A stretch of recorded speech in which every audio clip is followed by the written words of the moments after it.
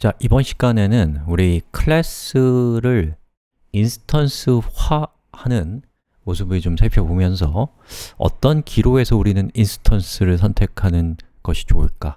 라는 여러 사례 중에 하나를 딱 집어서 제가 말씀드려 보겠습니다 자, 여기 보시면 음, accounting이라고 하는 저 클래스의 내부적인 상태, 즉 value of supply, 즉 어, 뭐죠? 저게 공급가액, 공급가액이 만 원이다라고 하는 상태가 한 번 세팅이 되면 그 다음에 이 내부적인 상태는 바뀌지 않고 그냥 뭐 얼마를 그 부가가치세를 얼마를 내야 되냐 또는 소비자한테 총액을 얼마를 받아야 되냐 이런 메소드를 사용하게 되는 게 다다 라고 하면 그냥 클래스를 쓰시면 됩니다 또는 예를 들면 만원이라고 하는 상태를 세팅한 후에 그 만원과 관련된 여러 가지 행위들 get VAT, get total 같은 걸 실행을 하는 걸 다 끝낸 다음에 그 다음에 이제 물건을 또 이번엔 2만원짜리를 팔았다. 그래서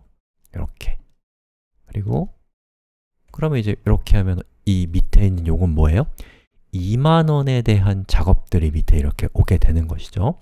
자, 이런 식으로 어떤 내부적인 상태가 한번 세팅이 되면 어, 여러 가지 작업들이 끝난 다음에, 완전히 끝나고 그 다음에 새로운 내부적인 상태의 변화가 오는 이런 케이스에서도 굳이 우리가 클래스를 instance화 시킬 필요는 없다고 봅니다 자, 그런데 이런 케이스를 한번 생각해 볼까요? 만약에 한 번은 만 원에 대한 공급가액을 출력하고 또 한 번은 2만원에 대한 공급가를 출력한 다음에 또 한 번은 만원에 대한 부가가치세를 출력하고 또 하나는 2만원에 대한 부가가치세를 출력하는 상황. 즉, 클래스의 상태가 계속해서 바뀌어야 되는 상황에 있다라고 한번 쳐보자고요. 자, 코드로 한번 표현을 해보겠습니다. 자, 밑에 거는 지워버리고요 자, 일단 여기 있는 이 첫 번째 줄은 만원에 대한 공급가액을 출력하는 거고요 2만원에 대한 공급가액을 출력하려면 어떻게 해야 돼요? 여기 있는 이 값을 2만원으로 바꿔줘야 될 겁니다 그죠? 그 다음에 만원에 대한 부가가치세를 출력하려면 다시 어카운트의 세팅을 만원으로 바꿔야 되고요 그리고 2만원에 대한 것을 출력해야 된다면 역시나 상태를 이렇게 바꿔줘야 될 거라는 것이죠 밑에도 마찬가지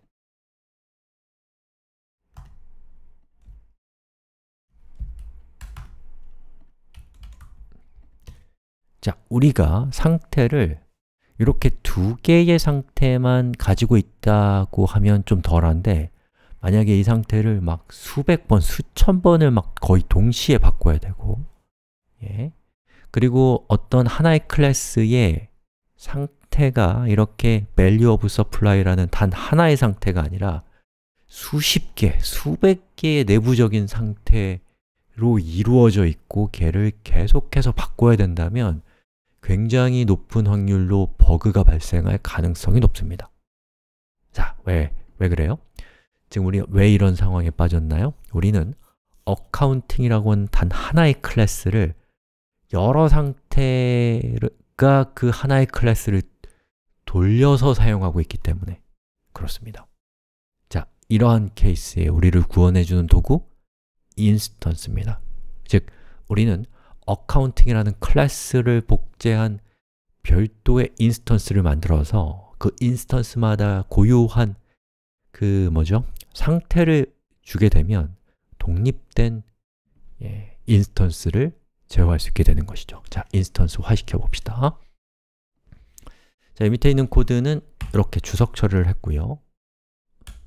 제가 하고 싶은 것은 어, accounting 이라고 하는 클래스 a1이라고 하는 변, instance 변수죠. 자, 거기에다가 new accounting 이라고 이렇게 했습니다 음. 자, 그렇게 되면 이제 a1이라는 instance가 만들어질 것이고 저는 a1에 뭘 해요? value of supply는 얼마다? 일시 백천 만점 0이다 라고 이렇게 처리를 하고 싶다는 거예요 그리고 A2는 어떻게 해요?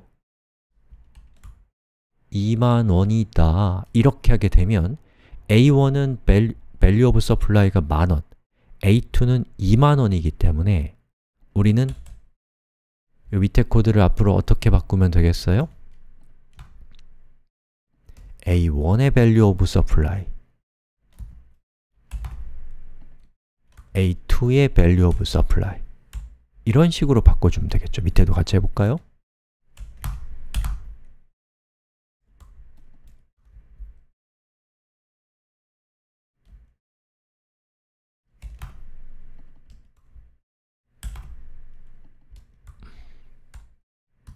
자, 이렇게 동작하게 하려면 우리가 이 클래스를 어떻게 바꾸면 되나요? 자, 여기 있는 이 a1의 value of supply는 그 instance에 소속된 어, 변수입니다. 그럼 뭐가 빠져야 돼요? static이 빠져야겠죠. 자, 그리고 여기 있는 getVat라고 하는 저 method는 예, 누구에 접근해요? instance 변수인 value of supply에 접근을 하는데 얘가 static이면 접근이 된다 안 된다? 안 된다. 왜냐? static은 클래스의 소속인데 이 클래스가 instance의 value of supply에 접근하려면 어떤 instance의 value of supply인지 알 수가 있어요? 없어요? 모르죠. A1의 것인지 A2의 것인지 알 수가 없단 말이죠. 자, 그렇기 때문에 getVat는 스태틱이면 안 됩니다. getTotal도 스태틱이면 안 돼요. 자, 이렇게 처리를 하게 되면 다 끝났습니다. 자, 실행을 한번 시켜볼까요? 자, 보시는 것처럼 음, 잘 실행이 된 것을 볼 수가 있습니다. 자, 그래서 이전 같은 경우는 보시는 것처럼 어카운팅의 value of supply라는 내부 상태를 우리가 그 뒤에 따로 작업이 있을 때마다 바꿔주는 아주 귀찮고 또 버그를 유발하는 행위를 해야 됐는데 이제는 어때요? A1과 A2가 각자 독립된 내부적인 상태를 유지하고 있기 때문에 우리는 단지 호출만 해주면 안심하고 어, 그 인스턴스를 사용할 수 있다는 것입니다. 자, 그리고 이때 한 가지 더 높아심에서 말씀을 드리면 VAT rate의 경우에는 부가가치세의 율인데 부가가치세의 율은 어떤 instance건 간에 동일하기 때문에 왜냐하면 대한민국의 부가가치세는 다 0.1이 0, 뭐죠? 10%니까 이런 경우에는 instance의 소속으로 하는 것보다는 어, 클래스의 소속인 static으로 내버려 두는 것이 어, 더 좋을 수 있다. 이렇게 하게 되면은 instance를 만들 때마다 우리가 소위 컴퓨터의 메모리라는 것을 사용하지 않아도 되기 때문에 컴퓨터 자원을 더 절약할 수도 있고요. 그리고 여기 있는 VAT rate의 값을 만약에 0.2%로 바꿨다.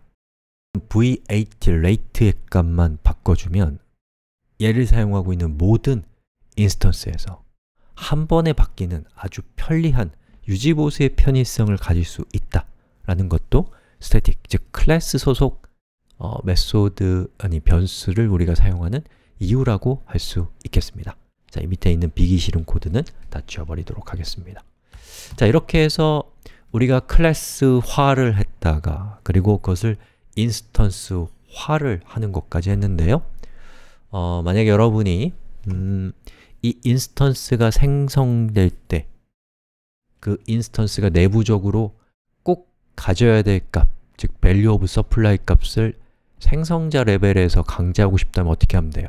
자, 여기서 이 클래스와 이름이 똑같은 accounting method를 구현해 주시면 됩니다. 자, 그때에 우리는 저 method, 자, 우리는 저 생성자가 호출될 때 인자를 매개 변수로 전달하고 싶기 때문에 요거는 이제 어떻게 해요? value of supply 라고 하고요. 그리고 this.value of supply 누구예요? 얘죠. 자, 그리고 this가 없는 value of supply는 누구예요? 이 매개 변수인 거죠.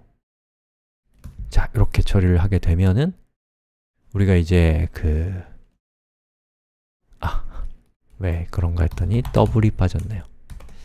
자, 그렇게 되면은 요 인스턴스가 생성될 때 저 만이 만원이라고 하는 인자가 전달이 되면서 이 인스턴스의 변수인 value of supply의 값이 세팅이 된다 라는 것이죠.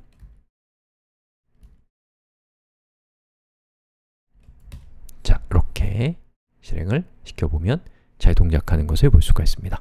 자, 이렇게 해서 우리 클래스화, 또 인스턴스화까지 살펴봤고요. 이것이 제가 생각하는 객체 지향에 더 이상 뺄 수 없는, 뺄 것이 더 이상 없는 최소한의 단위가 아닐까 라는 생각이 듭니다. 자, 여러분 코드가 좋아지는 이 모습에 여러분이 공감이 된다면 어, 잘 따라오신 거고요. 공감이 안 된다. 그러면 실망하지 마시고 아직은 얘를 배울 때가 아닐 뿐입니다. 때를 기다리시면 어떨까 싶습니다. 여기까지 하겠습니다.